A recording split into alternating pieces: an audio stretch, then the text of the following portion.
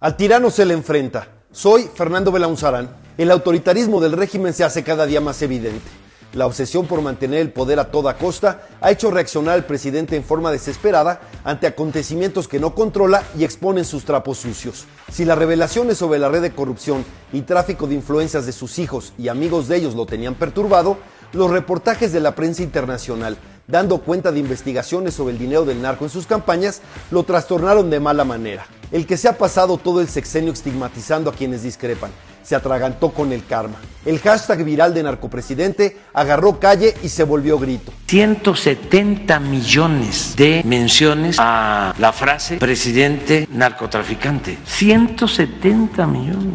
Entre más delira con robots, más personas replican el mote que lo desquicia. La terrible realidad del crimen, cada vez más extendido, poderoso y expoliador, que azota, atemoriza y asesina con impunidad y opera electoralmente a favor del partido oficial, apuntalan el señalamiento.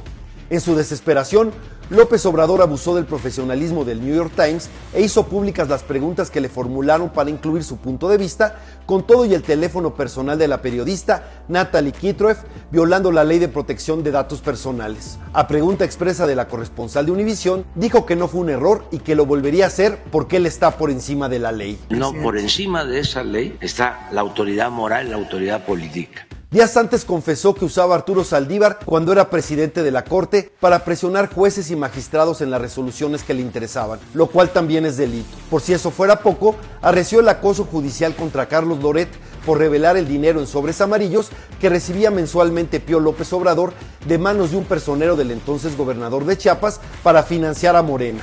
La amenaza a la democracia no solo está en ofensiva contra el Poder Judicial y los órganos autónomos o en la intención de controlar las elecciones desde el gobierno, también en la restauración del hiperpresidencialismo autoritario de quien se siente monarca. Soy Fernando Belaunzarán y si te gustó este video, compártelo en tus redes sociales. Sabemos qué es lo que estamos enfrentando, pero no me van a doblar. Vamos a seguir ejerciendo la libertad de expresión al costo que sea